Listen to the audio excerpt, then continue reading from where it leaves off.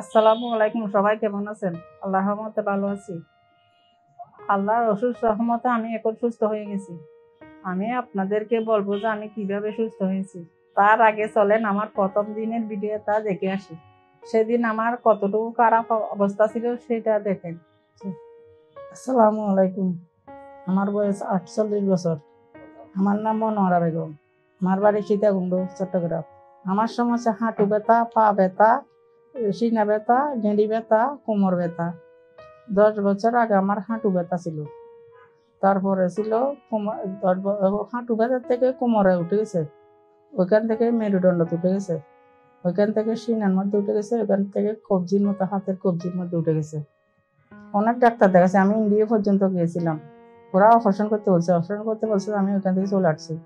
Operation করিনি। ওইখানে ষোলো দিন আসছিলাম ইন্ডিয়াতে। তারপর দিয়ে ইয়া মেডিকেলের মধ্যে। ওনাকে দেখাচ্ছি এবার এখানে। সীতা মধ্যে ডাক্তার। ওইনার কাছে দেখাচ্ছি, ওইটা বাদ ব্যথার ডাক্তার। ওর কাছে দেখাচ্ছি যে এনে ভালো হয়নি শুধু ইয়ে থাকছে যদি বাদ ব্যথা মানে বাদ ব্যথা বলে ব্যথা যায় না। ওষুধ অনেক খাইছি, আমি খাওয়ার শেষ নাই। আমার চুলগুলা চলে যাচ্ছে। ওষুধ খাইতে খাইতে ওষুধের গরম, চুল পাকা দিচ্ছে চুলগুলা চলে যাচ্ছে। এমনকি মনে হয়েছে আমি বলতেছি তো, আমার কি আমি ভালো হবে? কীভাবে ভালো হব? আমি এটা মনে মনে বলতাম, ঘরে চিন্তা করতাম টেনশন করতাম। তার দিয়ে মেয়েরা আসে বলে টেনশন করি না আমি। কানতাম। ব্যথার জন্য আমি অনেক কান্না করছি। কান্নার আমার শেষ নাই। তো ইউটিউবে দেখছি আমার একটা নাতিন জামাই। উনি এখানে ঢাকা ওই কি ইয়া এয়ারপোর্টের মধ্যে এয়ারপোর্টের পাশে চাকরি করে বায়ারে গার্মেন্টসের বায়ার উনি দেখা দিচ্ছে যে আমাকে। আমি ইউটিউবে পাইছি।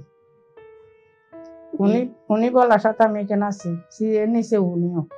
আমি মরাত বসতে পারতাম না। তারপরে চেয়ারে বসে সব সবগুলা করতাম। তারপরে দাঁড়ায় দাঁড়ায় গ্যাসে চুলের মধ্যে রান্না করতাম। নিচে যাইতে পারতাম না, আমার বাসা দোতলা। সিঁড়ি বাইতে পারতাম না আমি। আমি শুধু ঘরে ঘরে। আর কোনো আত্মীয় স্বজনের বাড়িতে যেতে পারতাম না।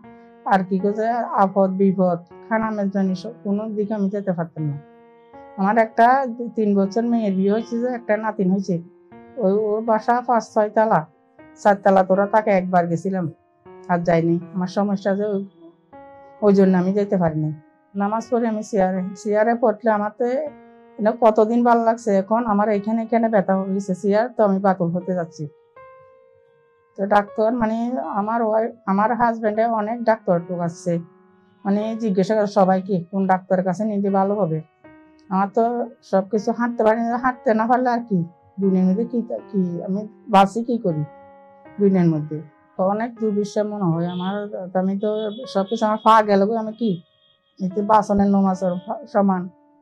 পাটা চলে যাচ্ছে আমার। শুধু পার মধ্যে, এদিক দিকে এদিক দিয়ে আমার পাটা অফস হয়ে যাচ্ছে। ক্ষমতা একদম এখানে বলছে ডাক্তার ক্ষমতা তো আগে চলে যাচ্ছে কত? ঠিক আছে আমি এটা মানতে পারি আমার ক্ষমতা চলে যাচ্ছে। এগুলা তরকারি কোটার সময় এলে এরকম হয়ে যেত এলে বাজি যেত। কারও যা এটা আমি ডাক্তার বলতে ভুলে গেছি এখানে ম্যাচ হয়ে গেছে। এখানে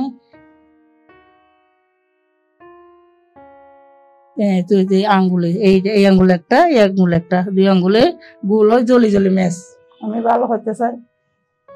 আমি তো ভালো হই এখান থেকে যাব। আমি এখান থেকে যদি ভালো হয়ে যায়, আরও অনেক মানুষ আছে আমাদের ওখানে।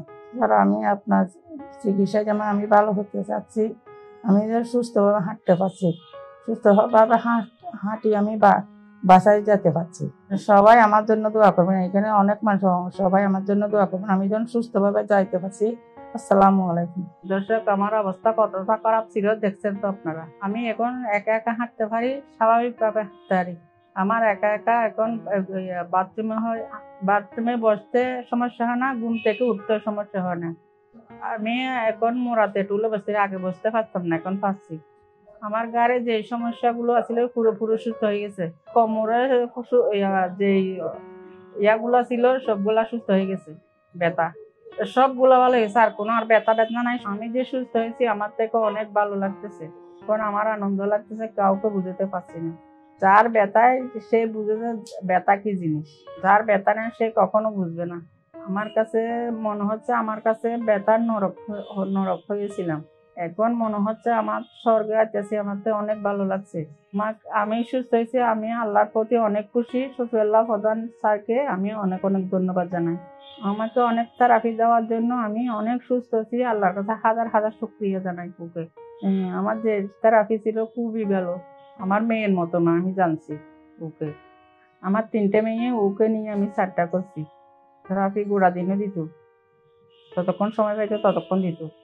তারে অনেক অনেক শুভেচ্ছা জানাচ্ছি। আমার মতন যারা এভাবে অসুস্থ আছেন, তারা ডিপিএলসিতে আসছে, চিকিৎসা নিতে পারেন। আমি এখান থেকে সুস্থ হয়ে বাড়ি ফিরে যাচ্ছি। আশা করি আপনারা সুস্থ হয়ে বাড়ি ফিরে যাবেন। আমার জন্য সবাই দোয়া করবেন, আমি যেন সারা জীবন সুস্থ হয়ে থাকতে পারি, যেন ভালো হয়ে থাকতে পারি। আপনারা বাদ, বাত, প্যারালাইসিস এমন রোগ নিয়ে কখনো অবহেলা করবেন না। যত দ্রুত সম্ভব একজন বালা ডাক্তার দেখে চিকিৎসা নিন। আপনারা চাইলে সফিউল্লাহ প্রধান স্যারকে দেখতে পারেন।